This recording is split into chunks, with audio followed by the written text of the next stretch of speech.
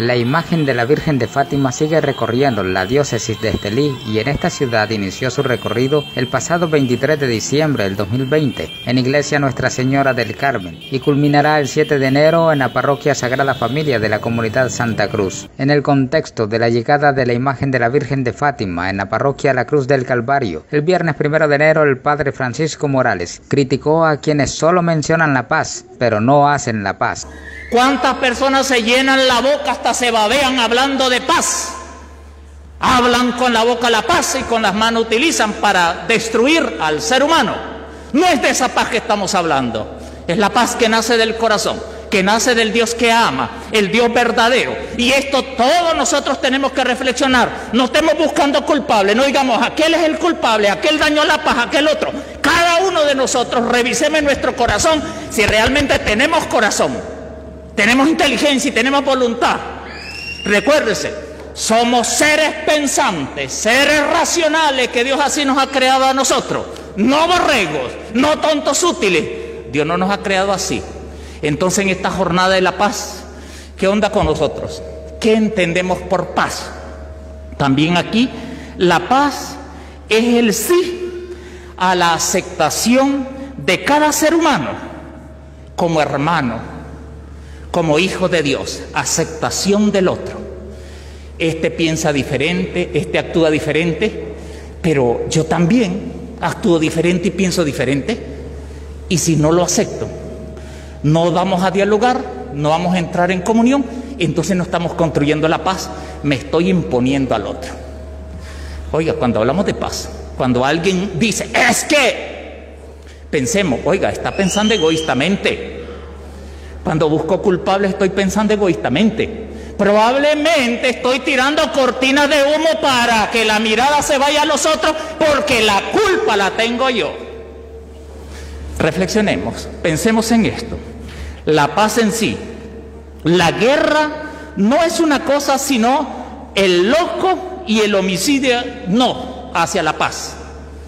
Es un homicidio.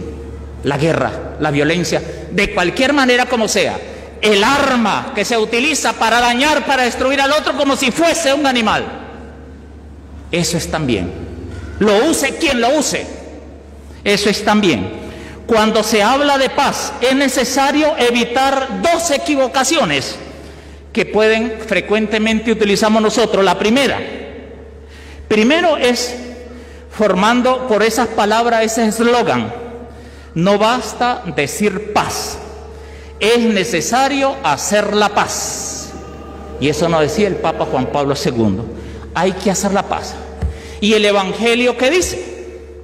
El Evangelio no proclama bienaventurado a los, para, eh, los que hacen la propaganda de la paz, a los bulliciosos, a los que se llenan la boca de decir paz, paz, paz. No, no dice a los propagandistas, sino a los artífices de la paz Mateo 5.9. O sea, aquellos que trabajan, que hacen concretamente obras de paz, no palabras, obras de paz. No a los aulladores, no dice dichosos los aulladores, los aulladores, sino a los constructores de la paz. Y fíjense también, esa otra parte, el otro equivoco que puede ser también, es sostener que la paz es un asunto que debe de ocuparse los grandes de la tierra, los jefes, los gobernantes. Es una equivocación. Y alguien decía por allí, la paz es tan seria, tan grande para dejarla en manos de los gobernantes, solo en manos de ellos, porque es incompleta la paz que construiría, porque se queda solo en papeles y a beneficios personales. Te doy esto, pero a cambio de los pactos que ha habido en Nicaragua, la vende patria que ha habido en Nicaragua, te compro, te vendo. Uno y otro partido se han vendido y se han comprado, sin vergüenza todos. No me digan que no. Eso es. Y reflexionamos nosotros, ¿qué tipo de gobernante vamos a hacer a, elegir ahora si es que hay elecciones? Probablemente votaciones sí, pero elecciones no. ¿Qué vamos a elegir nosotros? ¿Somos seres pensantes o borregos?